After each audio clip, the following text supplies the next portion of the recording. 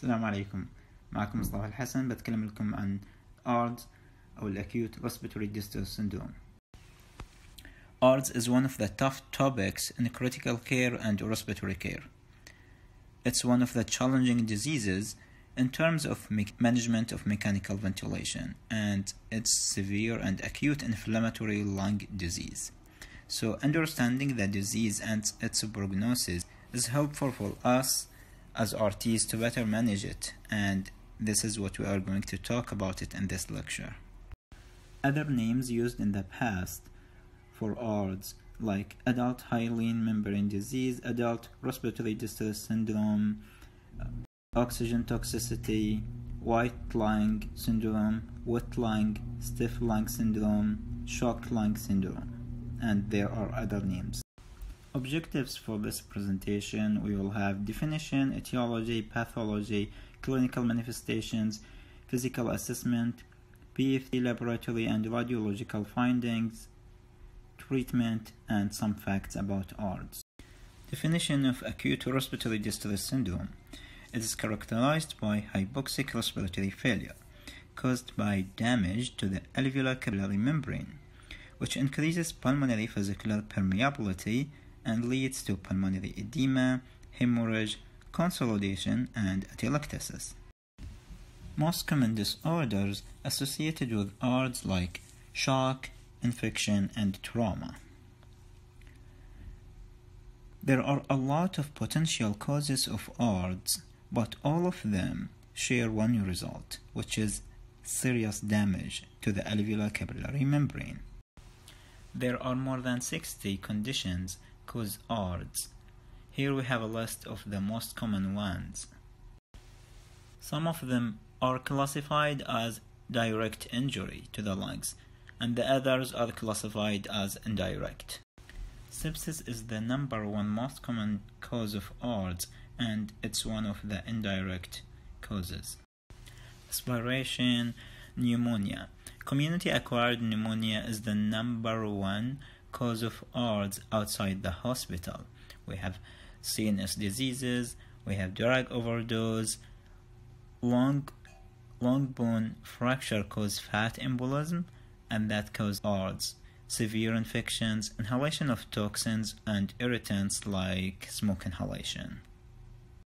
Other causes like immunological reaction, massive blood transfusion, oxygen toxicity. So exposing to high FiO2 more than 60% can cause ARDS, hypovolemic shock, burns. Here in this picture, we have water represent pulmonary blood flow, the dam, I'm sorry, the dam represent AC membrane, and the small town represent alveolar space. So this is the normal case, the normal condition. Uh, this uh, picture represent um, hydrostatic pulmonary edema, and the last uh, picture uh, represent um, non-hydrostatic pulmonary edema, and we see here the dam is broken, like the AC membrane is broken. The second picture represents cardiogenic pulmonary edema and how fluid moves to the alveolar space.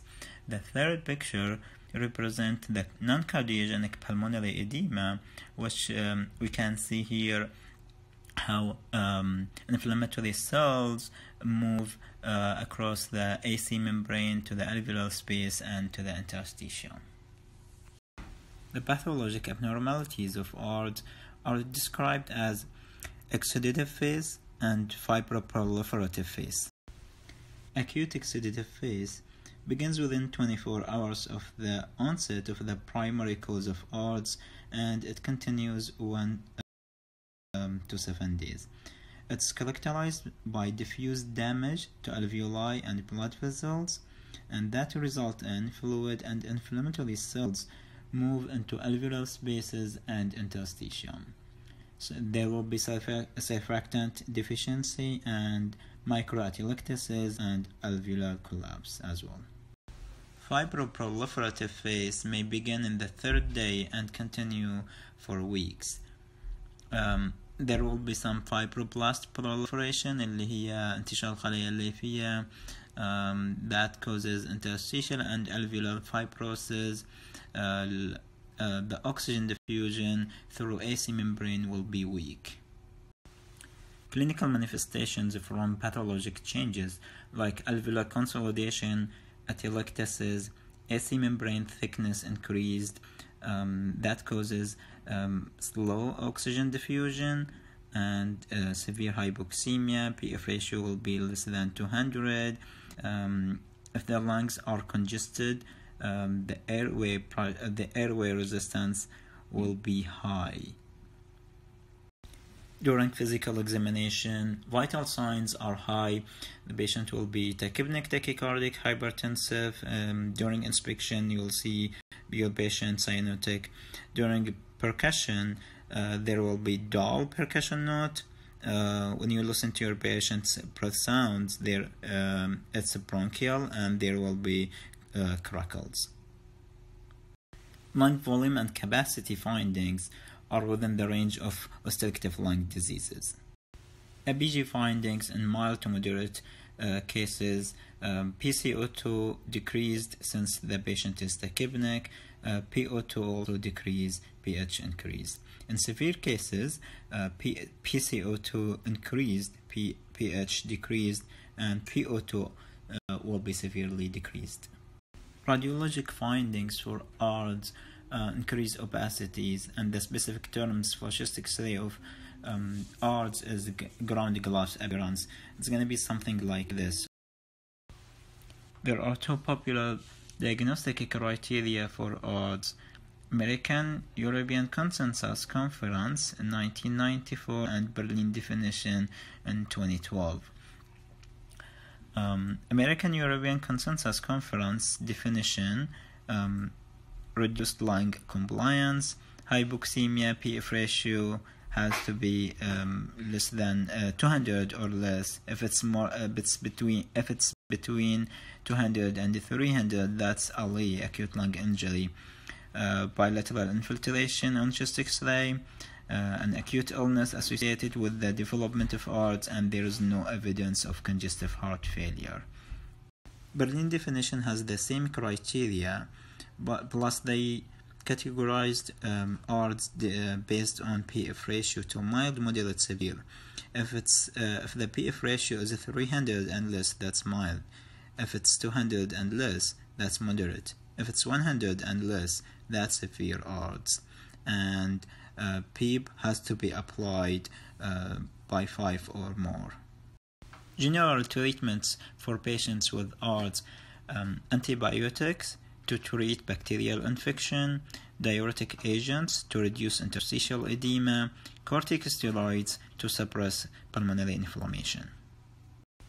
Respiratory care treatment includes oxygen therapy to treat uh, hypoxemia caused by capillary shunt, um, hyperinflation therapy to treat atelectasis, uh, mechanical ventilation, of course, is needed.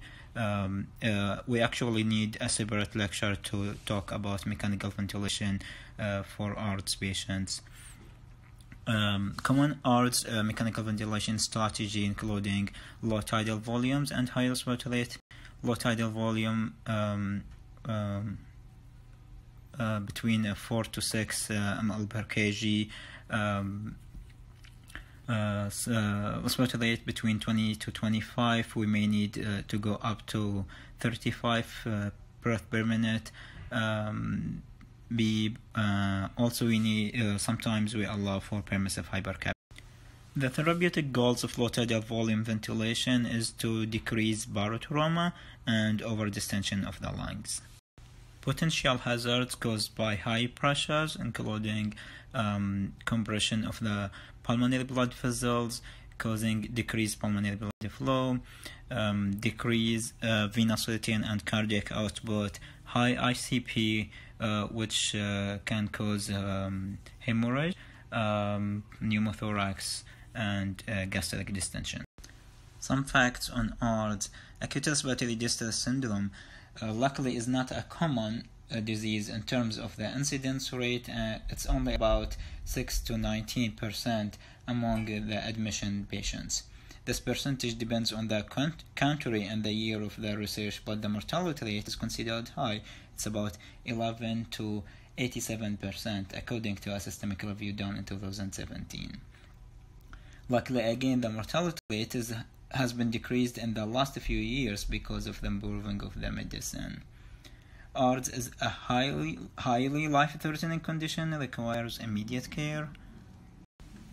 Lung functions return back to normal after 6 to 12 months, uh, but when the primary condition caused ARDS is quickly addressed, treated, the, the um, exudative phase should be short, only a few, few days. Um, it should be fully reversible. Uh, it's not going to leave any significant chronic signs of or injury to the lungs. I have a true or false question for you. Um, the lung compliance of patients with ARDS is very high, therefore, uh, static compliance should be kept uh, less than 30 millimeter mercury. Uh, take a screenshot and let's see your answers